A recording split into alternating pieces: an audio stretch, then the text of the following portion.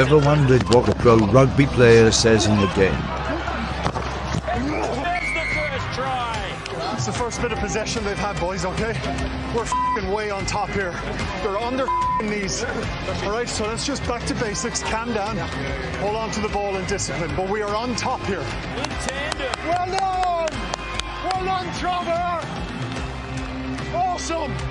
So when we're coming to a breakdown, they're coming past and taking our two cleaners every time, like a meter past the ball. Just sort of like, yeah, I know you have it, and that, but it's pretty much every time. Cubelli dives over! Okay, let's get another one. Let's get another one. Let's go again.